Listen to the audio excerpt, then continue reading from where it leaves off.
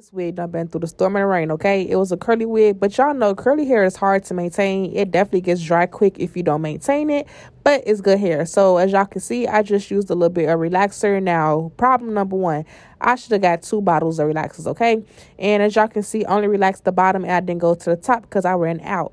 But I'm washing it out right here, and then you all will see at the end how it was still a little curly at the top, but it was straight at the bottom. But don't worry because when I blow dried it out, it came all good. And this how it looks after it dried and I curled it and stuff like that. Yeah, yeah, get into it. Follow me for more.